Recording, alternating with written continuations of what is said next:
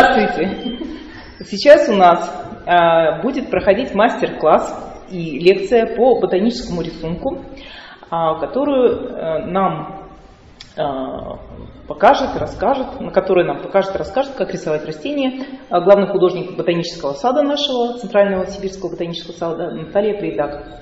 Надо сказать, что Наташу я знаю уже безумное количество времени. Это был очень активный член экоклуба НГУ, участвующий во многих акциях, и посадках, и спасении леса, и в экспедициях. Вот. И э, вообще-то она по образованию никакой не художник, я выдам вам секрет, она химик, вот, и философ. Вот такие у нас художники в Ботсаду. Но у нее есть удивительное дарование. Она очень тонко чувствует природу, очень хорошо ее знает, и э, вот, наверное, именно это помогает ей воссоздавать э, при оформлении красных книг из э, того, что ей приносят ботаники, это, как правило, листы с засушенными, потерявшими цвет растения. Но это все равно, как если бы вам принесли череп э, и сказали, нарисуйте, пожалуйста, портрет моего дедушки, чтобы был как живой. Вот. Это примерно то же самое. Но Наталье это удивительным образом удается, и растение действительно получается такое, что его хочется с листа взять, вот как это делают маленькие дети. Э, это, этот мастер-класс, он у нас входит в цикл «Войди в зеленый дом». У нас уже здесь была лекция э, фотографа замечательного Закира Умарова, который тоже не фотограф, но как-то умудряется фотографировать так, что профессиональные фотографы ему завидуют и приходят учиться к нему на мастер-класс. Вот.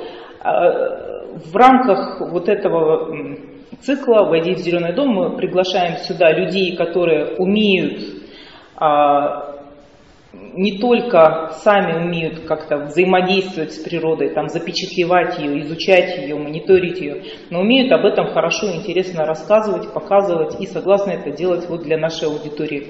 Вот. И для тех людей, которые интересуются этим, мы а, приглашаем, соответственно, вот наших а, знакомых специалистов. Спасибо им большое, спасибо Наташе. Вот теперь я думаю, что можно начать. Я, основные сведения я уже выдала. Очень приятно здесь видеть, на самом деле, э, э, довольно элитный, ну, такой семинар. Ну, скажем так, не, не каждый человек, наверное, сможет и заинтересуется такой темой. Вот. Но тема, она очень такая романтическая, я бы сказала, ну и философская, с другой стороны. Вот. А, кто пробовал заниматься ботаникой, ну, наверное, поймет вообще, о чем речь. Лично я не пробовала заниматься ботаникой. И, в принципе, рисовать тоже нигде не училась. А вот. Получилось все, как всегда, очень стихийно и спонтанно. Просто как бы я съездила на Алтай в один прекрасный момент своей жизни, первый раз побывала на Алтае, и после этого я приехала домой, и меня посетило вдохновение. Я просто вышла на улицу, сгребла вот так сухие листья осенние, э, там всякие зеленые, бордовые, желтые, и начала их рисовать. Вот. А еще в детстве у меня была страсть к срисовыванию. Если у детей вообще, они пытаются проявить свое художественное какое-то творчество, свою фантазию проявить, то я очень быстро поняла, что вот лучше, чем природа, я никогда не смогу придумать, никто другой не сможет придумать. Я все время сталкивалась вот с каким-то барьером, что я не могу нарисовать лучше, чем там, чем создано природой. Поэтому я начала срисовывать. Сначала это были открытки, потом это были натуры живые, там, вот людей, допустим, я срисовывала. С людьми тоже как-то не пошло. Вот. И тогда я вот нагребла этих листьев, и они мне так понравились, и я решила, ну почему мне не срисовать их вот именно так, как они есть. И у меня получился вот такой вот листочек А4, весь заполнен вот этими сухими листьями. Они получились, ну, нормально получились листья. Вот. А в этот самый момент, как раз судьбоносный, так сказать, 99-й год в моей жизни, я познакомилась с человеком, который как раз закончил художественную школу. И он э, вот в саду занимался тем, что он рисовал черно-белые рисунки тушью. Вот. Ну, скажем так, примерно вот такие.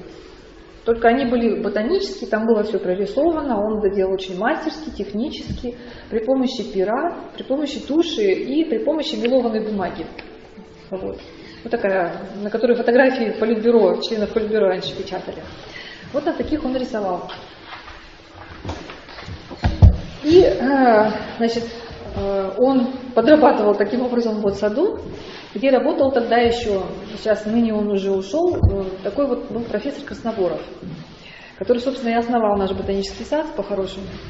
И вот он был заведующий лабораторией гербарий, и он этого Олега моего, так сказать, нового знакомого просил ему нарисовать. И в один прекрасный момент Олег уже, так сказать, сделал карьеру ученого, а ему просто было некогда. И он привел ему меня.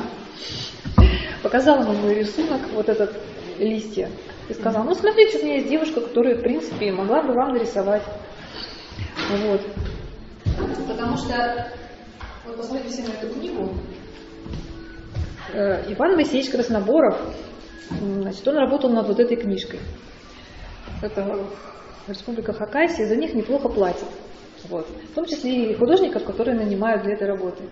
И вот он, когда увидел меня, сказал, хорошо, вот вам два гербария, нарисуйте мне на пробу, я посмотрю, годитесь вы для этой работы или нет. А профессор Красноборов, он такой вот представительный вот мужчина был, да, и он очень умел как-то своего собеседника, ну даже вот первого встречного, он как-то возвышал его, что ли. И вот он как-то меня убедил в том, что вот именно у меня это получится лучше всех. Я взялась за работу. Значит, первое растение, которое я нарисовала, сейчас я его вам покажу. Я очень волновалась, конечно, у меня руки дрожали, и я его рисовала, наверное, два дня. Это очень быстро, я хочу вам сказать. То есть я его реактивно вот так наваяла, э, для того, чтобы просто поразить э, профессора Ивана Моисеевича Красноборова. Вот. Но э, я вам хочу сказать, что это был очень такой волнительный момент, потому что я ни разу этого не делала. Ну, представляете, да? Дали вам растение и сказали, ну, пожалуйста, вот нарисуйте. Неизвестно, умеешь ты это делать, получится у тебя это или нет, в принципе. Вот. А, и вот оно, это первое растение.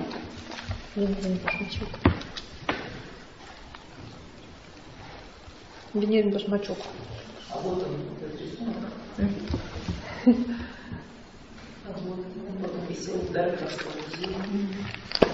Ну, в общем, посмотрел Краснобуров и сказал, хорошо, вы годитесь. Надавал мне гербария и сказал, нужно рисовать очень быстро, потому что проект красных книг, на них дается полгода, на них дается финансирование, если не успел, то, как говорится, опоздал. Вот, и я начала работать. Параллельно я еще училась научном, э, на философском в МГУ. И, в общем, вот так вот у меня все это закрутилось. И где-то так через полгода-год мы вот такую книжку выпустили, вот эта вот первая книга, в которую вошли мои рисунки. Это вторая? Да. После этого этих красных книг уже было довольно много. Вот. Красная книга Новосибирской области. Это недавно тоже она выпущена. Вот здесь тоже есть рисунки.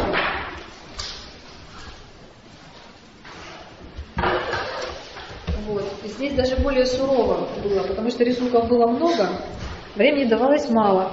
Поэтому мне пришлось, кроме самой, да, еще поискать кого-то. Я набрала бригаду художников. Здесь, кроме этого, рисовала еще моя мама, но она во всех участвует в проектах. Мой муж рисовал, моя сотрудница, мой сотрудник, потом еще какую-то женщину пригласили. В общем, три сотрудницы, мама, я. И вот мы совместно коллективом из шести человек вот такую книжку нарисовали.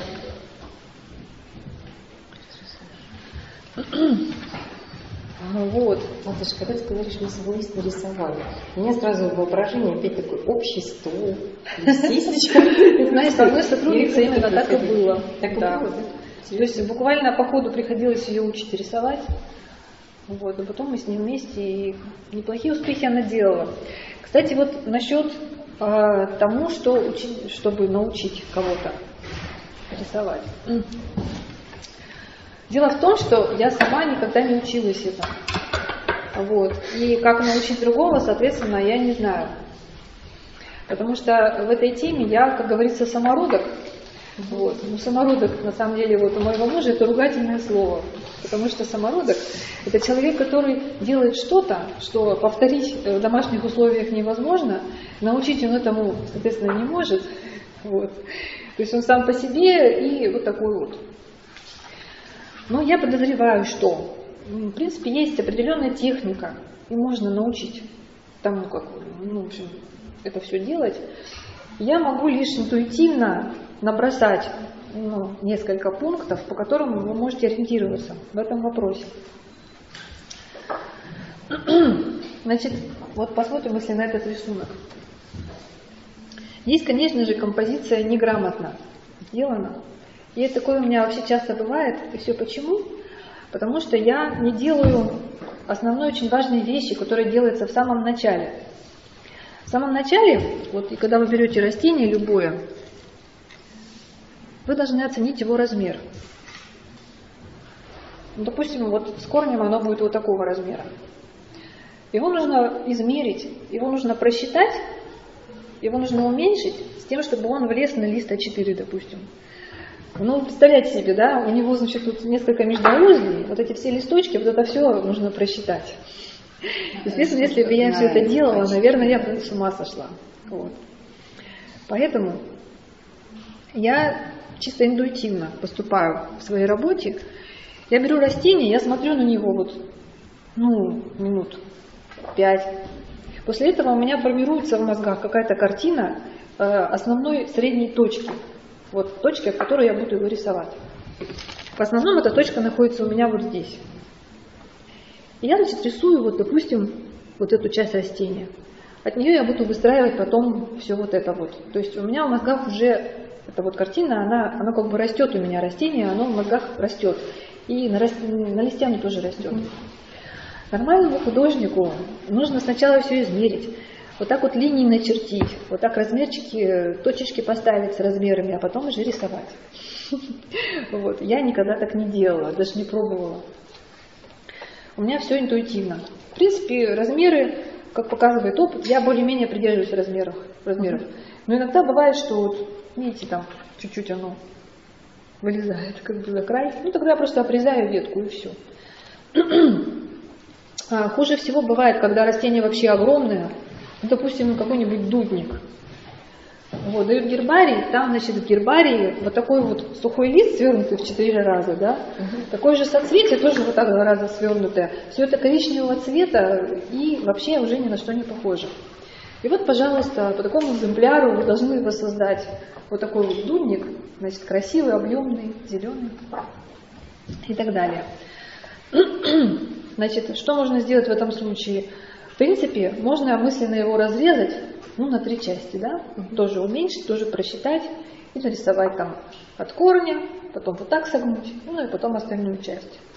Как это в основном и делается, ну, в каких-то ботанических изданиях, если вы посмотрите, такое встречается. Можно разрезать пополам. Ну, например, вот так. Вот. Что касается э, формы, что касается цвета, то здесь начинается настоящее исследование и, ну, как это сказать, я хожу по сотрудникам и спрашиваю, вы вот такое растение знаете? Вот по всему ботаническому саду. У вас, говорю, есть фотография? Если есть фотография, они мне ее дают. Если нет фотографии, допустим, Иван Моисеевич Красноморов говорил, оно, ну, какое-то там вот зелененькое с желтым оттенком. Вот. Ну, надо к нему принести вот эти краски, сделать мазок, сказать такое. Ну, или там пускай он описывает, там, а я записываю за ним Цветочек бордовый с розовым, значит, оттенком. Это, значит, такое. Тычинок там, например, столько-то. Основные э, моменты, которые нужно для этого растения соблюсти, такие-то. И вот такую вот портянку, значит, я пишу, а потом я иду, собственно говоря, и работаю. Вот. Значит, э, здесь я могу показать, ну, то есть просто могу сесть и начать рисовать, ну, как я обычно это делаю, да? Вы можете попробовать сами. У кого нет желания пробовать, можно смотреть литературу. Это тоже очень интересно.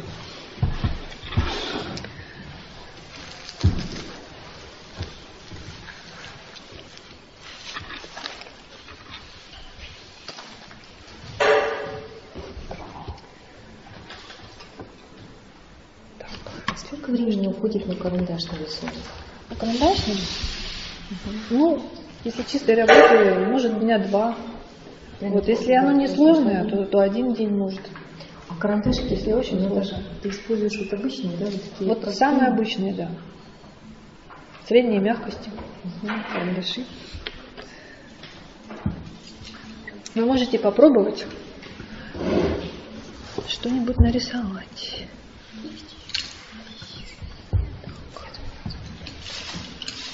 Самое простое тут на самом деле лютик. Вот его можно взять за образец. А как ты определяешь, что простые, а что сложные?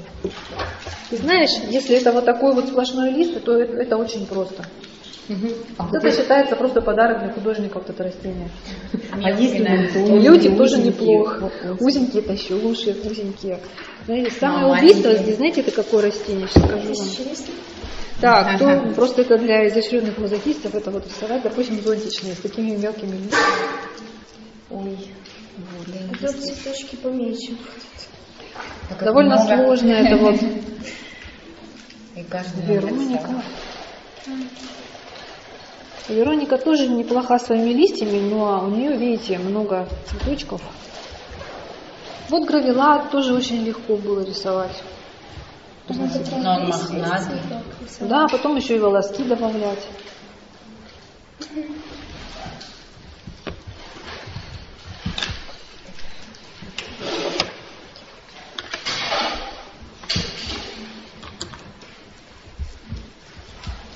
Надо будет прям весь лес цветок рисовать.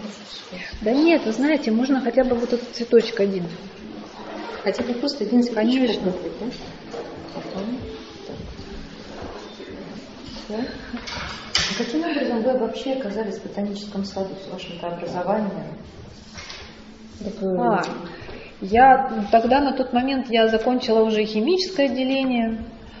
Вот. И что-то мне не покатило в лаборатории, в которой я распределялась, мне там не очень понравилось, и я оттуда ушла в таких расстроенных чувствах и э, пошла обратно учиться. То есть год я вот так проболталась, торговала зубными пастами.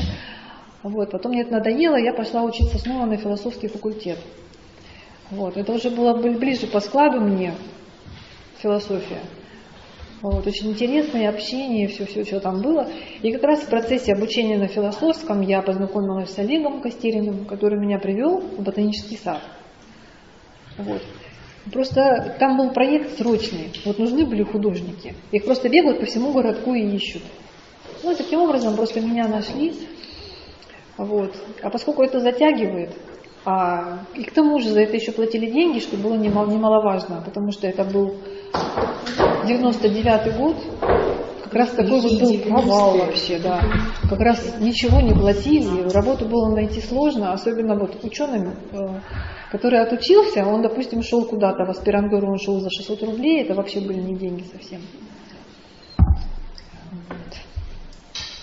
Поэтому я вот начала работать, а потом выяснилось, что я это делаю неплохо. И поэтому я и на философском не осталась, и на химию обратно не пошла. Я решила, что вот это за меня ну, мало кто сделает. В принципе, эта профессия будет востребована. Она будет нужна и в ботаническом саду, и, возможно, там какой-то бизнес можно будет в будущем на этом построить. Потому что способность это редкая. Есть, конечно, ну, художники, которые тоже этим занимаются, допустим, в Кемерово. Но он вообще берет огромные деньги вот за эти рисунки, он просто знает, как это все. Вот, в принципе, я беру подешевле, поэтому...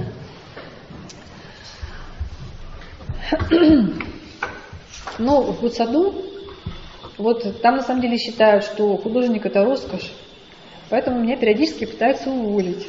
Серьезно? Ну да, раньше были такие поползновения, частенько там сокращение идет, типа «А художник, а что у вас делает художник, а зачем вам художник? Сейчас с фотографией, да? Конечно. Вопрос вообще, действительно, зачем вот рисовать, столько сил тратить, когда можно фотографию поместил и порядок. Ну, как выясняется, э, большинство растений, которые помещают в Красную книгу, они просто не сфотографированы. Это раз.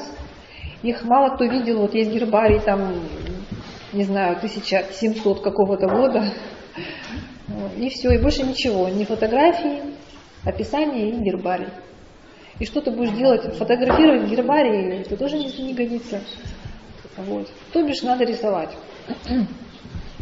Естественно, для того, чтобы полностью проиллюстрировать растение, вот э, параллельно с рисунком нужно давать фотографию. Потому что, ну, это повышает наглядность, повышает информативность. Ну и во всех книжках так и делается. Вот, допустим, возьмем красную книжку, везде даются еще и фотографии параллельно. Вот все они приведены внизу. Вот рисунок, фотография.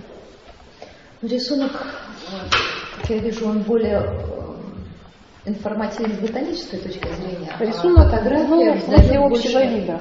Да. А фотография дает представление о том, как это растение выглядит в природе. Да, да, да. Не изъятые из земли, не изъятые То бишь, из да, то бишь фотография и рисунок, они друг друга не заменяют. Она просто дополняет. Можно?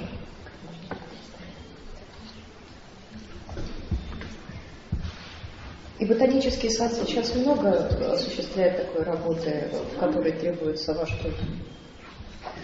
Вообще да. И если бы меня на всех хватало, думаю, что было бы даже гораздо больше. Вот, потому что меня, если честно говоря, на все эти проекты уже не хватает одну. Просто последний проект «Красная книга Новосибирской области», там уже бригада была из шести художников, и вообще все не, не справлялись с выпученными глазами, там, и, э, значит, в мэрии, так сказать, и в администрации, все были с выпученными глазами, потому что у них же там отчет, у них там определенные сроки, вот, а на этом конце художники, которым не заплатили, у которых там семейные проблемы, в общем, времени мало и так далее. Вот. То есть работа такая была, довольно нервная. У меня сразу возникает такой вопрос. Вот начинаем с рисования. Карандаш часто приходится корректировать, да? Или нет? Резинка. Резинка. Как потом, ты переводишь потом свой рисунок на другой чистый лист, чтобы потом уже накладывать Ты знаешь, у меня вот есть лист ватмана, сейчас покажу. Нет, у меня вообще все просто. Просто я помню, Я что беру- не всегда хорошо акварель ложится на то место, где резинка потюрили. Да. Поэтому берешь ватман. Это очень плотная бумага и достаточно гладкая. Вот, ее можно То есть стирать. Не для акварели бумага, именно такая. Нет, бумага для акварели для моей работы не годится. Бумага для акварели годится для работы с акварелью. Это вот профессиональной работы. Да, да, да. Она как раз создана для того, чтобы там вот э, капаешь водичку, потом макаешь туда вот эту точечки ставишь акварели, оно там растекается, и потом, или как-то ты там, в общем, применяешь технику для акварели. А вот это вот на сухую называется. Это нетрадиционная техника для акварели. Тут ни в коем случае никаких э, размазываний в воде. Не должно быть. Тут кисточка, она вот на пределе. Чуть-чуть вот смачиваю, да, и потом на сухую я рисую. Вот. Поэтому я, в принципе, стираю. Да, конечно, эти места, они проблемные, но, тем не менее, все равно нормально на ватмане получается. Может, тогда попробовать нарисовать просто вот один цветочек сегодня. Маленький, не Да, конечно, конечно. Самое главное попробовать просто. Потому что это не я.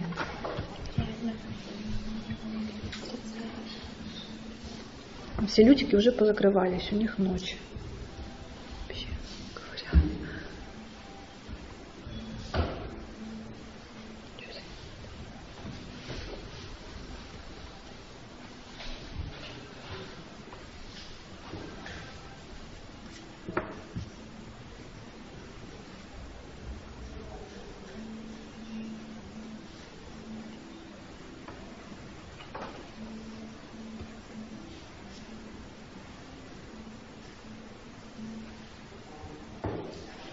Когда ты рисуешь цветок, листок, идет построение? А, вот ты рисуешь. Но я обхожусь без построения, на самом деле. Но это неправильно. Нет, это на самом деле интересно так, как вот сам естественно делаешь. Это увеличение будет, да, вариант? Ну, когда как. Вот, скажем, вот этот лютик можно нарисовать натуральную величину. Он, в принципе, влезет на лист А4. Проще рисовать один к одному, конечно. Потому что тогда никаких усилий в мозгах не будет по уменьшению или увеличению, допустим. Вот.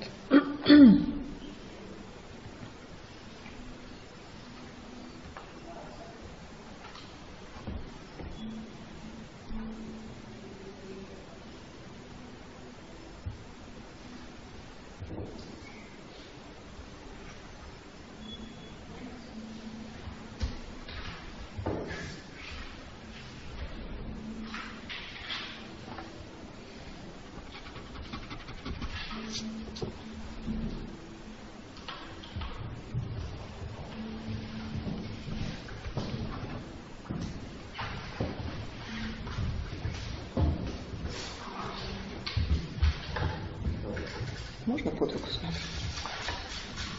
Да, конечно.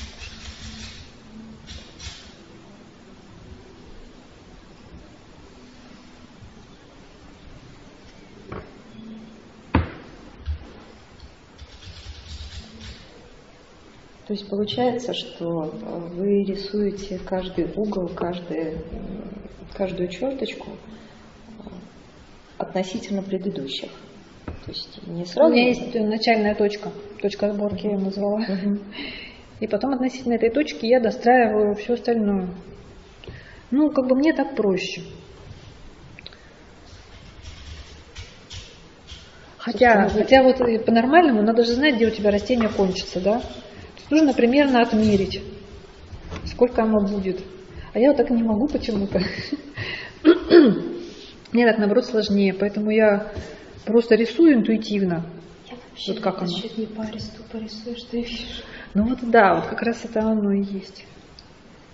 Ну, фактически вы держите в голове образ, он у вас просвечивает на, дум- на бумаге, вы его обрисовываете. Ну, может быть и так, да. Ну, то есть вот надо нарисовать точности, как вот оно есть. Максимально приближено к тому, что есть. А, Вот, но это что касается рисования с натуры. С натуры, наверное, проще. А когда есть гербарий, там нужно реконструкцию производить. Вот, вот с этого места Да. поподробнее, пожалуйста. Вы, Ну вот конечно, представь сейчас- себе, ну вот Лена сказала, тебе принесли череп и сказали, нарисуй Ну да. Ой, к сожалению, я вам не принесла гербария, чтобы вы посмотрели. Ну вы представляете, ну сток сена, допустим, да? Там всякая трава сухая. Ну вот эта сухая трава, она находится перед вами. Что вам приходится досчитывать? Во-первых, кроме, цвет, кроме цвета еще. ну форму еще. Потому что если там это все согнуто, если там вот такой веник, друг на друга все накладывается, вот, это нужно распотрошить, это нужно распрямить, хотя бы мысленно, если ты физически не можешь этого сделать. По-хорошему цветки надо распаривать. Я этого не делаю. То есть я тогда к литературе обращаюсь. Если я знаю, что передо мной бобовое растение, я просто беру фотографию другого бобового растения. В принципе, все бобовые цветочки примерно одинаково выглядят, да? И уже смотрю, там какие особенности вот э, на гербарии. Допустим, размер флага такой, размер шпорца там такой, потом крылья, значит, такие у него по размеру примерно. Форма тоже на гербаре более-менее она видна, она хоть и сухая, но все равно. Вот. Ну и рисую таким образом. Цветом гораздо хуже. Если как бы очевидцы этого растения не сохранились, ну тогда уж совсем тяжелый случай, приходится просто придумывать и рисовать, ну как там тебе кажется, оно должно быть. Вот. А в принципе ботанические термины э, познания в ботанике как-то необходимы?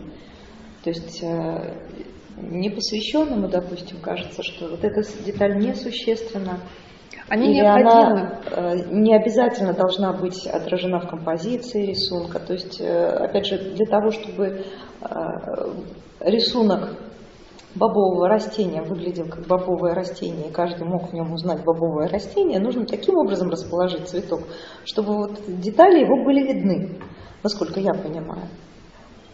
Можно вот расположить этот лютик так, что он будет на розу похож. Ну, конечно, можно. Просто в моем деле очень вредно художественное воображение на самом деле. Потому что надо, во-первых, чтобы оно было вот как есть, никаких лишних лепестков, там, листочков, ну, в точности вот как есть.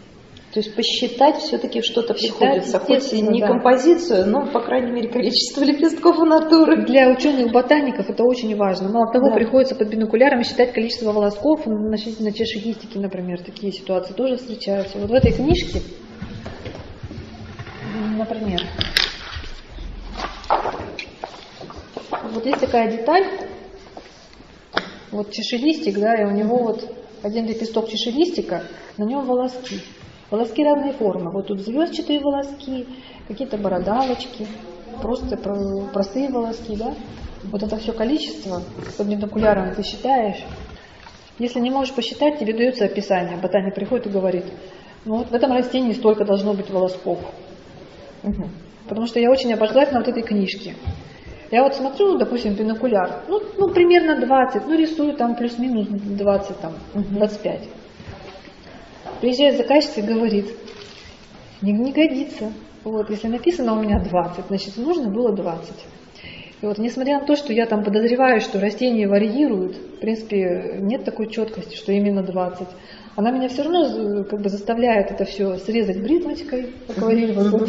Это вообще отдельная песня, как исправлять акварельный рисунок. Там срезаешь бритвочкой, и потом снова, значит, рисуешь поверх. Вот. В моей профессии ботаническая грамотность это прежде всего. Если сама не могу, значит, я иду к ботанику, и он мне все объясняет.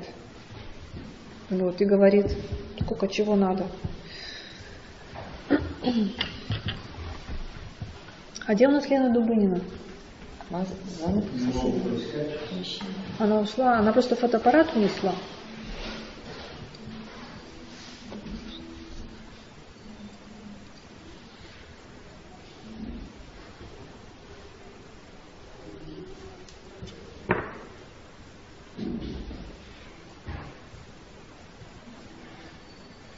Я как-то столкнулась а, с китайским художником, который противопоставлял себя а, художнику европейской школы в том плане, что если в Европе ты можешь потратить на одну картину много лет и рисовать ее во множество слоев и перерисовывать всяко разно, то в восточной монохромной живописи или даже цветной, полихромной. Лена! Лен, а где мой фотоаппарат? Тебя? То там рисунок производится буквально за считанные минуты, если не секунды. Ну, есть и такие умельцы. Я говорю, что вот в моей работе это не годится совершенно. Да, но я не договорила до конца. Дело в том, что вот этой молниеносной, казалось бы, работе посылается э, долгий и трудный период фактически медитации на избранный предмет. Mm-hmm. Ну да. Художник засмеялся и, и сказал мне по-русски, ну, с там, еще той когорты, которую русскую учила в школе, что нужно очень хорошо подумать Просто в моей работе и медитация крутая, и потом еще много дней, короче говоря, работы.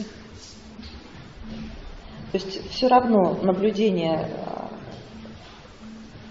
непосредственное дополняется наблюдением, э, изучением литературы, с консультацией со специалистом, плюс еще почувствовать характер а, и раньше еще для, для собственного развлечения я использовала как бы для своей работы экспедиции ученых. То есть я их упрашивала взять меня с собой, вот, э, под тем предлогом, что мне нужно выехать в поле, посмотреть, как же выглядят растения, которые я уже нарисовала и которые я уже ну, напечатали в красную книгу, но которых я ни разу в жизни не видела. Вот. Это очень помогло мне в работе, потому что я приобретала вообще бесценный опыт. Потому что, в принципе, в мозгах же картинка откладывается, как, в принципе, выглядят лютиковые, да? как выглядят разоцветные, например, или как бобовые. И вот картина растения, она складывается в голове. И потом, когда тебе приносят сухонький гербарий коричневый какого-нибудь бобового, и, и там нужно его нарисовать, в принципе, это уже проще сделать.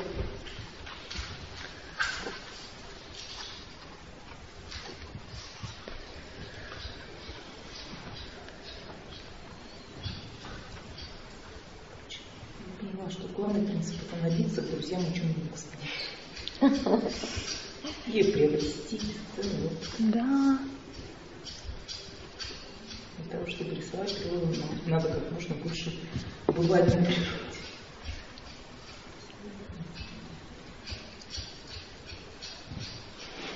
Но действительно, вам как-то помогает в работе то, что вы э, живете в Академгородке, и что как бы бобовые можно встретить непосредственной близости от дома.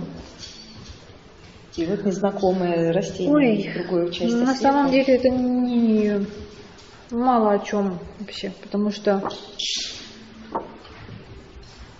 те растения, которые я рисую, все равно не встретишь. Это какие-то редкие растения, допустим, Алтая, вот, они растут там. Но здесь было хорошо в том плане, что когда мы закончили работу над первой книгой «Красной» вот, Хакасии, то Иван Моисеевич Красноборов сказал мне, ну что, иди уже официально устраивайся в Ботсад. Вот, и после этого у него была задача меня занять.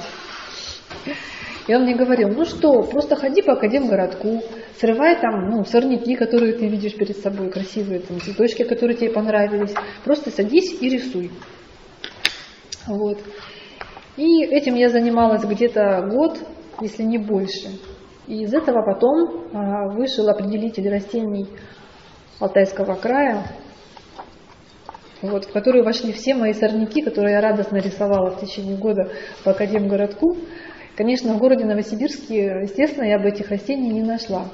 Вот. Тут просто очень удобная была площадка в том смысле, что и, э, значит, растения соснового леса тут есть, вот, и степные какие-то растения можно встретить, и луговые. Ну, короче говоря, разнообразие, естественно, богаче, чем у нас там в Новосибирске. Я вообще-то собираюсь с вами разговаривать, потому что если нас снимают для интернета, то напряженная работа в глубокой тишине будет неинтересна тем, кто будет смотреть это видео. Так что не серчайте, я пока придумываю вопрос. Не, конечно, задавайте вопросы, потому что, конечно, Какие просто так молча рисовать? это одно. А? Какие интересные растения рисовать? Можно или нет? Я не знаю даже, мне вот интереснее растение, где... Но вот оно не такое сложное, что оно вот не, не успевает надоесть, и ты не сильно напрягаешься, допустим, когда его рисуешь. А, но оно, допустим, зрелищное. Ну что можно привести в пример?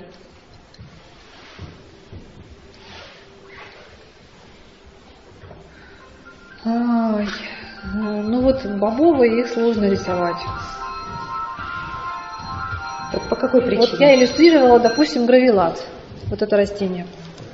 Вот это растение мне очень нравилось, потому что оно и простое, и, в принципе, симпатичное. А. Оно растет у нас в лесной зоне. Вообще это растение сосновых лесов, но рисовала я его в Якутии, в городе Алдан, вот, куда я просто приехала на лето к родственникам отдохнуть. Параллельно мне еще надо было и работать, потому что я была на работе фактически. Вот. И поэтому я вот так же его сорвала где-то так на обочине, вот там, не знаю, в городе рос, поставила перед собой и просто каждый день, там по часу я тратила на эту работу. Вот. И в поездках к родственникам она, значит, еще и пользу принесла. То есть я нарисовала растение. Вот. Герань вот эту я тоже рисовала. Тоже очень благодарное растение. У него большой лист, нету вот этой мелкотни бесконечной, да. Потом мелкотня иногда здесь, ну здесь вот я два стволика изобразила. Ну здесь у меня было цветочка три. Тоже не очень сложно, а цветок очень красивый такой, зрелищный. Но иногда мелкий рисунок потом заставляет радоваться. Ну вот, допустим, вот это вот. А, Значит, здесь, во-первых, сегменты, да, у каждого ствола много сегментов. Потом еще есть раструбы, их тоже все отдельно рисовать. В каждом узле по три цветочка. Цветочек состоит из чаши листиков, там такие лепестки, внутри еще семечко. Это все нужно нарисовать. Потом, значит, э, листья. Ну, собственно, и все. Их вообще много. Много-много. Количество цветочков имеет значение, форма листа имеет значение, жилкование на каждом листе тоже.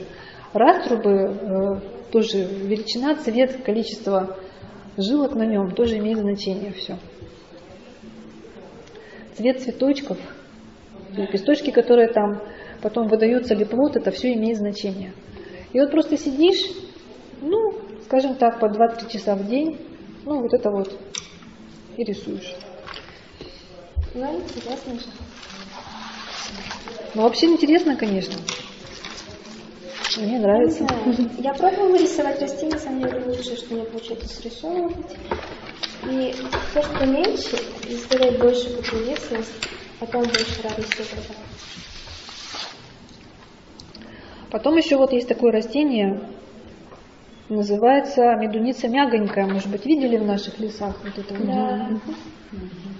Его тоже было очень хорошо рисовать. Просто с натуры взяли в лесу, собрали и вот нарисовали. Причем оно ведь э, сначала дает дудку, да, и цветет. Потом через месяц оно дает вот эти большие листья. То есть сначала я проиллюстрировала цветочек, потом я подождала, через месяц я сорвала лист и его еще сюда дорисовала. Вот. А корешки? А корешки, просто с корешками тут э, идешь к своему э, заказчику и говоришь, надо корешки. Он говорит, да, пойдемте без корешков. Ну и все, собственно говоря. То есть, А если, если, растение, растению, так, для того, чтобы его проиллюстрировать, для информации о нем корни не важны, то просто ботаник говорит, не рисуй. Лично я бы, наверное, стала рисовать. Да, но тут заказа просто не было такого. Потом что еще такого могло быть красивого, Все-таки интересного? уточните про бобовые, в чем сложность с бобовыми. Ну вот, смотрите, допустим, перед нами бобовое растение. Копеечник чайный называется. То есть, мало того, что у него коряга вот такая, в принципе, у многих бобовых у них мощный корень. Вот это бобовое растение тоже у него очень мощный корень. Ну, вот здесь поменьше. А, у него листочки, много мелких листочков. Но самое главное это цветы. Потому что цветы, они у него обычно смяты на, гер- на гербарии. Их нужно расправить. Цветок очень сложный. Он состоит из флага, лодочки, и тут еще такие есть крылышки. Вот, то есть есть такой флаг, к нему подсоединяется вот эта лодочка, и по бокам еще торчат вот эти вот крылышки. И все вот это нужно нарисовать, чтобы оно было объемное. И у них там еще жилочки есть. Вот. И каждый цветок у него спрятан в такую вот чашечку. Вот эта зелененькая. Вот из этой чашечки торчит цветок бобового. И из зеленой чашечки у нее еще есть э, такие отрост, от- отростки. И их количество имеет значение. И волоски также, которыми покрыт, покрыта вот эта чашечка, это тоже все очень важно. Цвет волосков может быть белый, может быть черный. Вот, количество их тоже, ну, тут считать не приходилось. Просто если густо, то значит густо, если редко, значит редко. Вот, это что касается бобовых. Потом по сложности идут на самом деле зонтичные растения. Из зонтичных тут у меня есть вот этот тмин. Если на него посмотреть, вот этот зонтик состоит из большого числа цветочков. В каждом цветочке есть лепесточки. И вот лепестки, серединка, форма лепестков и количество, это все имеет значение. Это все приходится вырисовывать. Поэтому вот я считаю, что это к сложным относится. Попроще разоцветные. Это гравилат. Ну, у него, видите, цветочек такой довольно простой. Лютики тоже простые. Вот. Ну, еще к простым относились звездчатки. Это уже довольно легко изображать.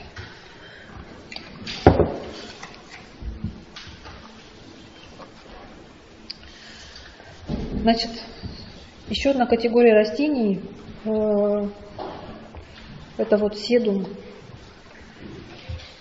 Седум, значит, это вот, может быть, знаете, золотой корень, вот это вот растение, это вот все относится к седумам.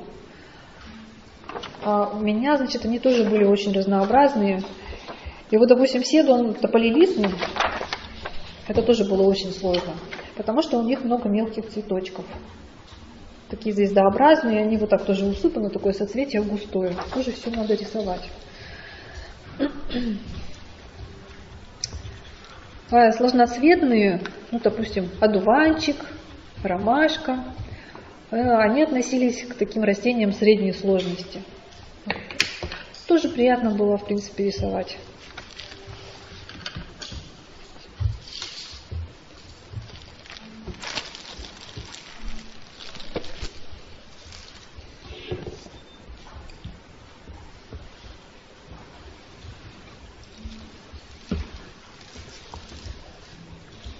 Ну а было у вас какое-то именно личное, эмоциональное отношение к какому-либо растению, Вы знаете, было. семейству? Однажды мне довелось рисовать лук. И, короче говоря, когда его достали в гербарий, да, там был просто такой запах, что хотелось тут же пивка, знаете, дернуть вообще. То есть, а в гербарий там, ну не знаю, чуть ли не 1600 какого-то года, а вот этот запах, он сохранился, мало того, он еще усилился. Ну, я не, даже не знаю. У нас, во-первых, гербарий в Будсаду он разный. Есть и тот, который Иван Моисеевич собрал, он, естественно, не очень старый. Он там, не знаю, 1950-е годы. А еще нам присылали, допустим, откуда-нибудь из Питера нам присылают. Ой, ну я не знаю, что это был за лук, я уже не помню. Я их много разных нарисовала, но просто запах был такой, что меня вырубило просто сразу вообще. Вот. И второе, вторая была эмоция. Это я рисовала смородину. Какая-то дикая смородина. Замечательные у нее тоже съедобные черные ягоды. И вот я тоже ее когда достала, запах варенья, вот такого тоже интенсивного, такого смородиного варенья. Вот. И вот это растение рисовала просто с истинным удовольствием, потому что ну, было просто приятно. Очень приятный был запах такой. А Вот. Также еще эмоционально доставляет удовольствие, когда ты рисуешь растение какое-нибудь очень редкое. Вот. Своих близких. Но это уже такое чувство, ну, ты понимаешь, что ты, если ты нарисуешь его красиво, люди, они впечатлятся, вот, возможно, захотят его сохранить, там, ну, не знаю, захотят сохранить участок степи, в которой он растет. Или наоборот, туда будет таким табуном Но это что касается лекарственных растений, да. Когда рисуешь лекарственные, тут двоякое чувство. Если сделать им рекламу, естественно, примчатся и начнут его, значит, выкапывать, с одной стороны. Вот. А с другой стороны, все-таки повышать грамотность населения в этом смысле необходимо. Вот. Что касается лекарственных или наоборот там съедо- несъедобных, ядовитых. То рядом нужна статья. Как их культивировать в своем огороде? Да, и сопро- и краснокнижные виды станут уже.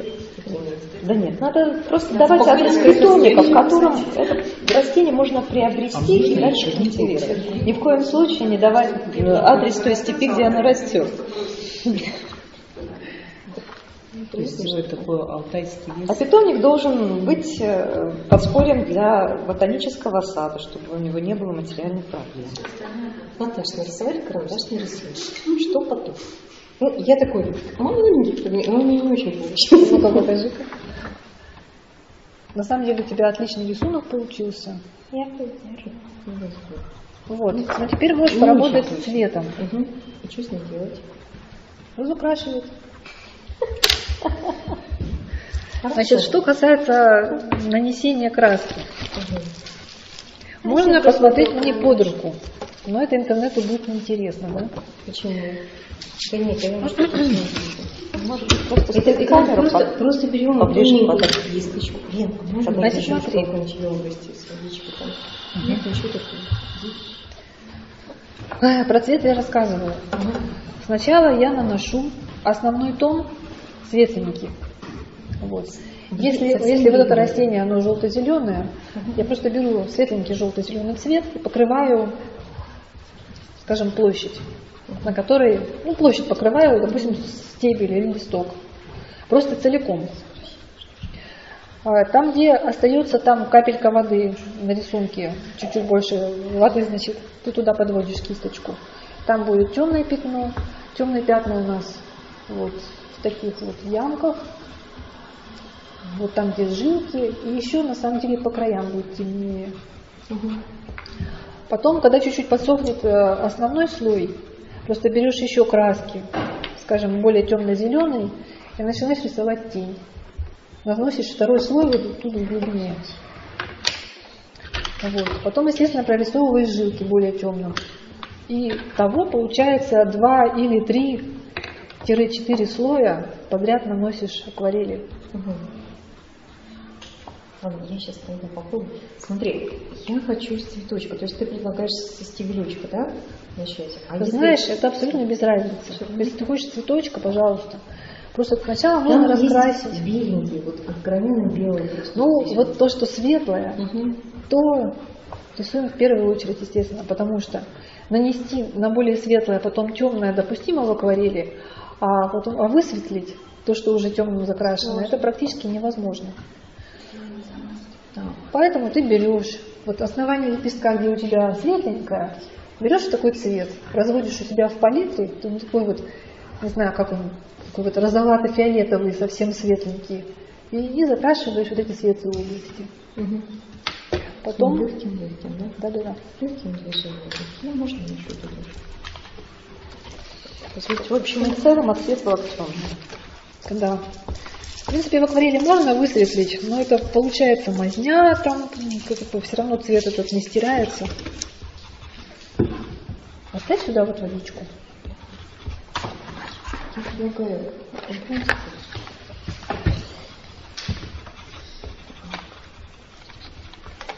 Вот, допустим, листок. Сейчас будем показывать. Посмотрим, что можно все-таки можно подойти. Я сейчас пусть буду как-то наверх.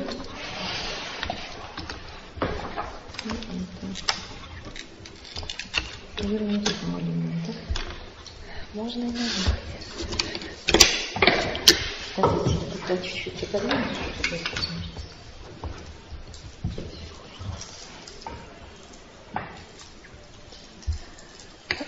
Значит, вот лист на самом деле вот мой, мои листики вот эти.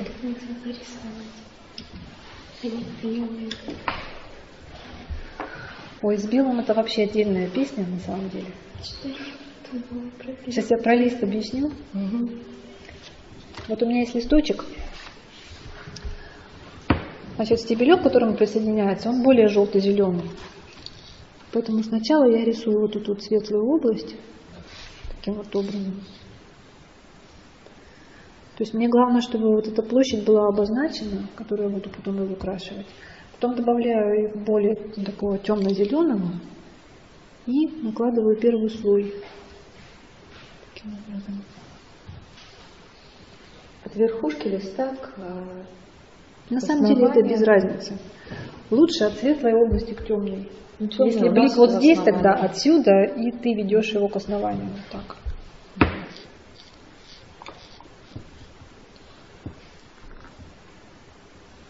Так. Потом, если есть жилка, мы обозначаем жилку. Нужно подождать, пока высохнет, чтобы жилка Нет, сейчас не надо ждать.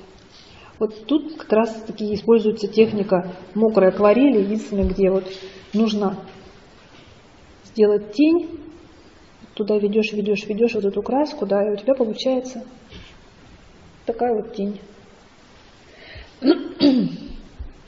Потом чуть-чуть темнее нужно сделать, например, вот здесь, да, то есть я, на самом деле, сейчас я фантазирую. Угу. То есть это элемент моей фантазии, потому что гербарий у меня лежит сухой, тоже весь серо-коричневый. Вот. То есть я просто вспоминаю, как выглядит спорыш, вот, который на улице растет. Я все время держу в голове образ этого растения, и я уже вот эти вот листочки, я уже их по памяти просто рисую. Вот, там, где тень есть поинтенсивнее, вот берем такой более темно-зеленый. Вот тут жилку подкорректировать.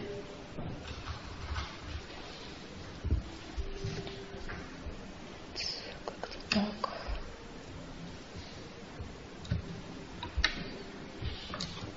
Вот насчет зеленого цвета. Есть же карандаши, которые говорили, да. Ну, же тоже разные. Я ими никогда не пробовала рисовать.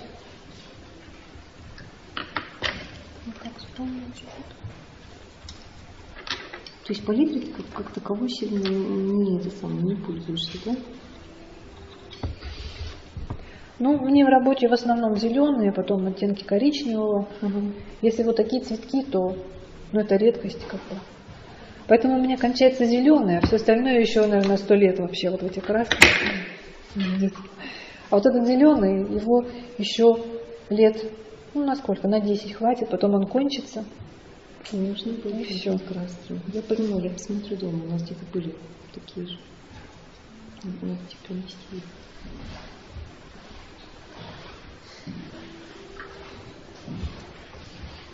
Бывает так, что вы возвращаетесь э, к прежней работе там, через какой-то промежуток времени и не попадаете в цвет.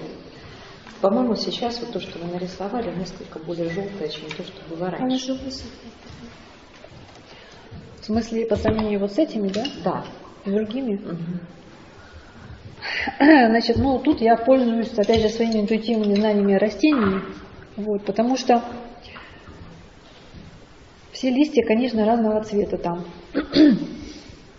Потом в природе где-то падает цвет, где-то какой-то блик. И получается, что какой-то какой листочек, он более, скажем так, желтый-зеленый, какой-то более темный, вот, третий там с бирюзовым оттенком. Вот, это как раз то, о чем говорил мой друг, который заканчивал художественную школу, о том, что по-настоящему зеленый цвет нужно делать путем смешения, фи- смешения, э, так сказать, фиолетового, бордового, желтого, коричневого и прочих цветов. Вот, потому что если я буду тупо все закрашивать одним зеленым цветом, будет ненатурально. Вот, поэтому, конечно, я пользуюсь разными оттенками зеленого, но основной цвет, конечно, у меня вот есть такой вот зеленый. Основной тон я, ну, скажем, не то чтобы любимый, но он наиболее хорош, соответствует. Наиболее близких, естественно. Это просто, да, просто тон как раз тот самый, который на растениях обычно бывает.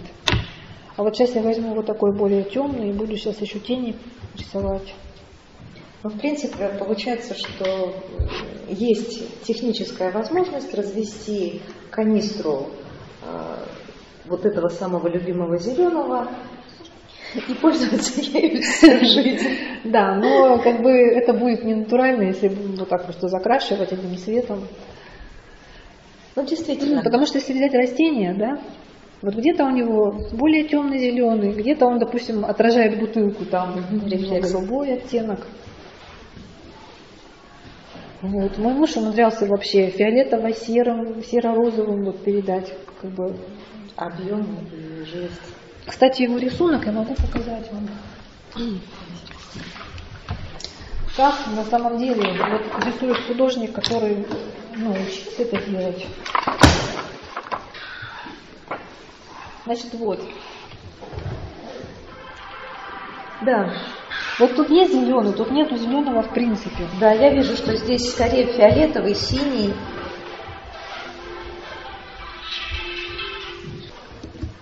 Наташа, а вот э, уточните, да? Я не знаю, как это называется, но вот тут тоненькое, нежное, на чем они висят, ниточки, понимаете, они сами. Они, вот там, кажется, вообще практически чуть ли очень такие светлые-светлые. Что это за цвет? Ага, я не И вот- сказала, вот- что вот делать, когда цветочек белый, да? Мгм. Значит, чтобы передать белый цвет на белом листе, приходится использовать очень светлые тона тех же самых цветов, только очень-очень светленькие. Каждый белый цвет в растении, он в себя выбирает какой-то рефлекс, допустим. И Либо он отражает зеленый, либо он отражает цвет цветочка вот этот фиолетовый. Поэтому чисто белого там не будет. Поэтому его мы рисуем вот либо таким светло-фиолетовым, либо сереньким. И потом еще оттеняем тоненькой полосочкой серенького цвета с той стороны, где тень. Вот. И таким образом у нас получится, что вот эта белая деталь, она не сольется с общим листом, и в принципе она будет выглядеть белой. Мгм. Так, а что делать, если перетемнее? А Ну вот, например. И, смываться не хочет краска. Ну, типа того. Тут еще и белые цветки бывают, да? чисто белые. да. Вот это тоже очень светлые розовенькие были. Вот это вот пушки, пушочки белые. Вот, пожалуйста, Вот белый белый шиповник. шиповник.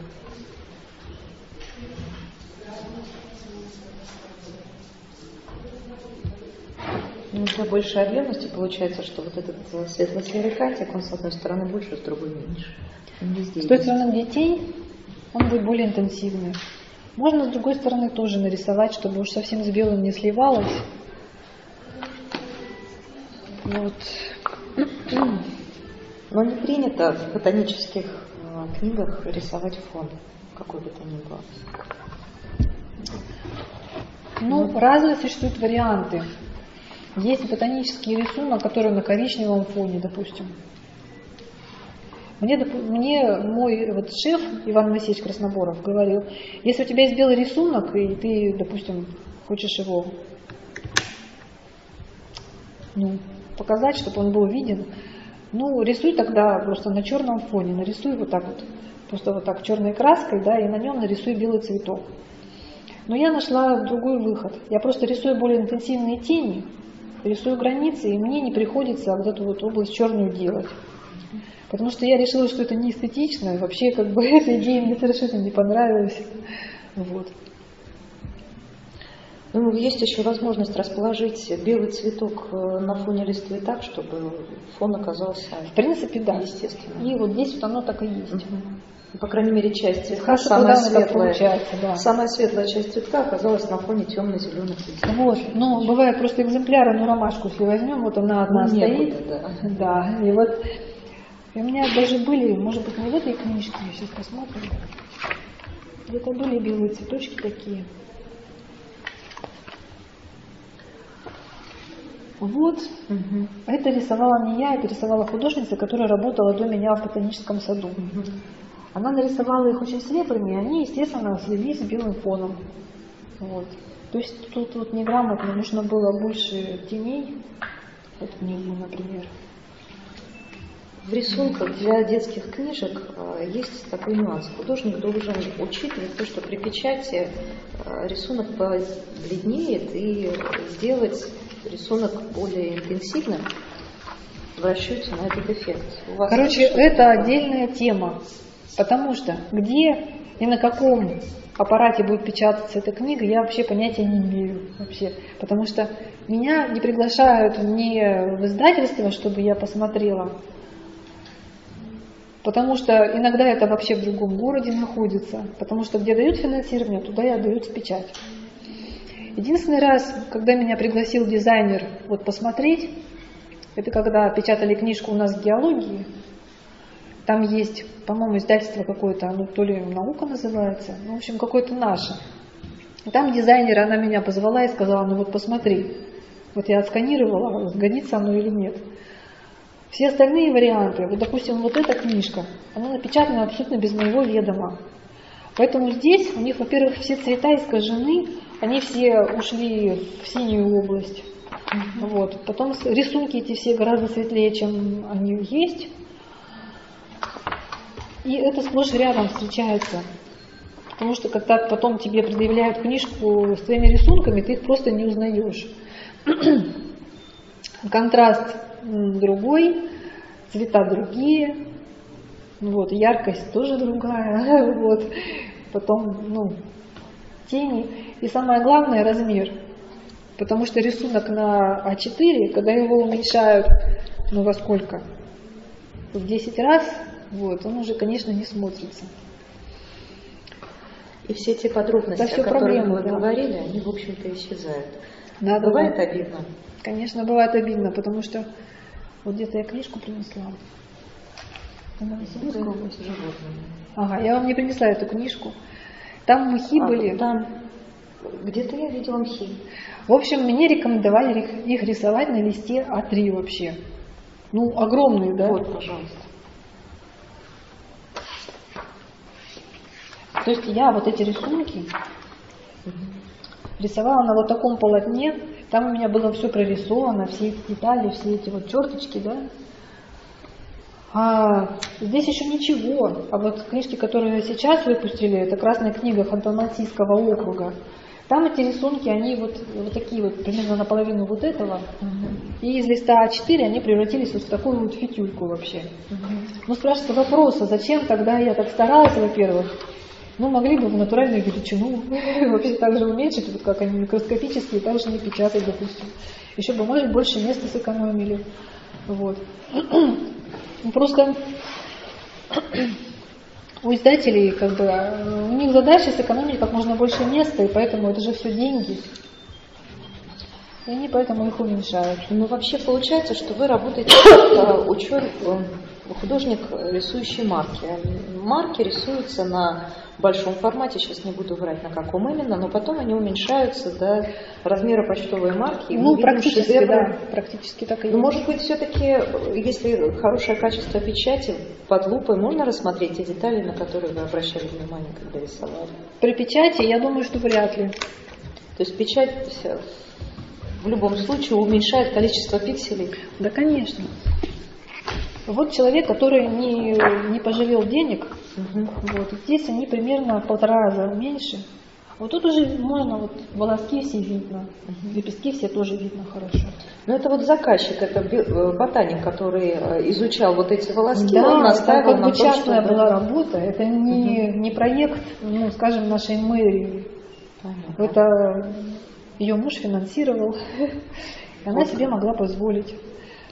А обычные книжки наши, что определители, что красные книги, они все уменьшают, все экономят. Вот Довольно любопытно получилась работа сделана. То есть мы видим общий вид растения, а потом а, тот его фрагмент, на который мы никогда бы не обратили внимания. Какая красота вообще. Собственно, предмет изучения э, ученого, ботаника. Да? То есть то, что вот здесь вот изображено, это вот маленький крохотный чешелистик, который вот здесь, да? Ну это да, это, скажем так, вот в основании цветка. Тут они в несколько слоев, ну, которая какая-то из них, в общем, И каждому растению этого вида предпосылается, деталь. да, вот это маленькая, незначительная, на Скажем, если это диагностический признак, если он важен для определения вида, то его приходится рисовать увеличенным под бинокуляром. То есть я ее складываю вот так вот под бинокуляр, тут же, в общем, у меня, тут же я рисую, разукрашиваю тоже под бинокуляром все, рассматриваю. Волоски считаю и все это, естественно, изображаю. Тут их вообще нет. Тут вообще нет. Но гладкую поверхность э, сложно изобразить, бывает, или это как раз Сложно изобразить блестящую поверхность. Расскажите, пожалуйста, как это? Это просто делается тоном, это делается бликами. Ну, Главное угадать, чтобы в нужном месте тебе оставить белое пятнышко такое. Мгм. Вот, и тогда получается, что оно блестящее. Вот я могу показать пример. Здесь есть рисунок, который сделан моей мамой. И вот ей удалось передать блестящий лист кувшин, и, по-моему, очень хорошо получилось. Сейчас.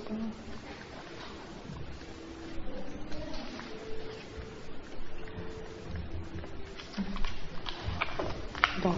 Ну вот. Просто там, где выпуклое, там, естественно, блик, он оставляется более светлым. Вот. Потом вот это вот все более темным. Здесь тоже видно, что блестящее. А вот предыдущие, они матовые. Вот видно, что они матовые. Да, действительно сложно. Где-то пушистые, тоже все это нужно цветом. Когда волосков не видно, тогда это все оттенками и цветом можно передать. Гладкость или пушистость, или шершавость.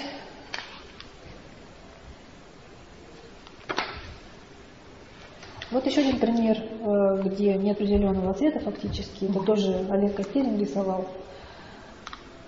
Вот. Какой-то там голубой, коричневый, он туда желтенький.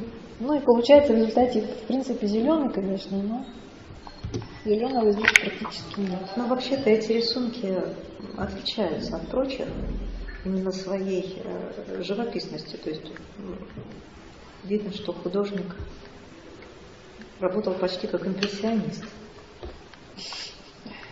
Ну да. Ну и Вот не срисовывал, а все-таки творил. вот совсем типичный случай. Принципиально говорит, я не буду использовать твой этот кондом зеленый, который ты так любишь. Принципиально. Вот получилось. Ну, он такой серый, пушистый на самом деле. Ему можно это позволить, что он не зеленый.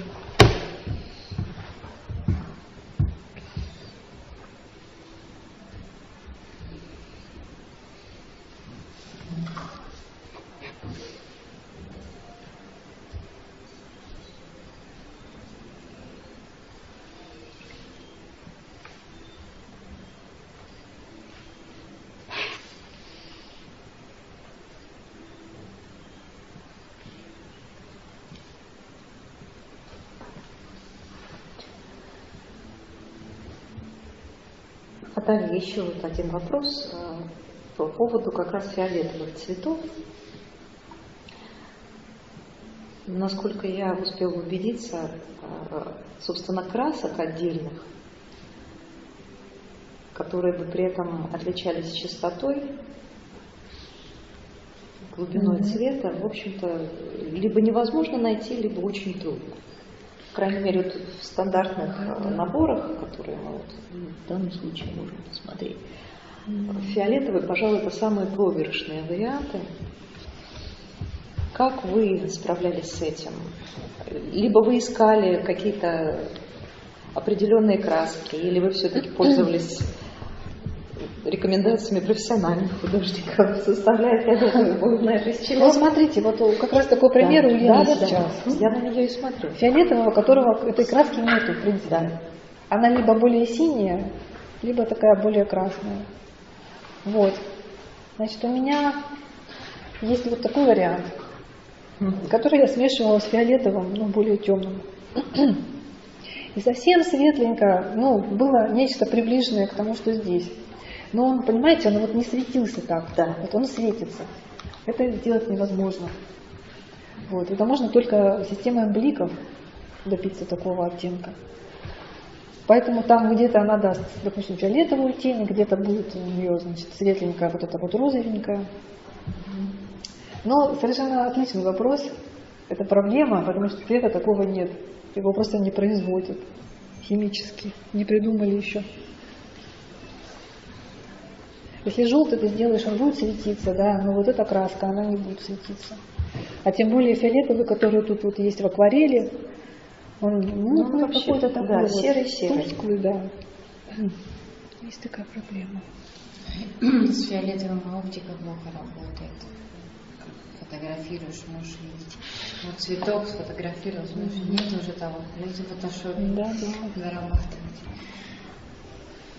А почему такой? Вы могли бы рассказать? Ну ладно, там с химией все понятно. Вам как химику ясно, что это невозможно, но все-таки цифровая фотография, оптика. Буквально вчера, значит, я попыталась, я хотела для этой презентации цветную фотографию себя, и там у меня были такие бордовые штаны. Вот. На мониторе смотришь бордовые, ну вот все, значит, печатаешь на хорошем фотопринтере коричневые. И вот хоть ты что делай вообще. И гамму там, в общем, меняешь, и высветляешь, и контраст меняешь. Бесполезно. И так мы эту проблему не решили на самом деле. Ну а Вот, при печати такие варианты случались, что совсем не тот цвет, вот как раз фиолетовый. Ну, я хочу сказать, что в книжках он получается более синий. Вот это тоже светился, он был вот таким же. Вот, я его тоже передавала, значит, вот оттенками. Тут вот нет отдельно фиолетового, тут есть темно-фиолетовый плюс вот этот розовый, ну или сиреневый, да. Когда напечатали, он уехал в синюю область, получилось вот так. А был примерно как вот сирень, даже посветлее был. Ну, видно, что рисунок добротный просто так, а вот то, что уже печать не смогла уничтожить, это уже останется навеки.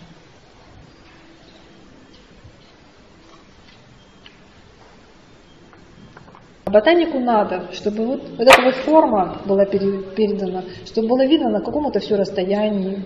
Вот. И как бы, не знаю, сколько тут цветочков, какие чешелистики. А, В конце концов, важен корень. Вот, какие-то там лепестки, если увеличенно их нарисовать.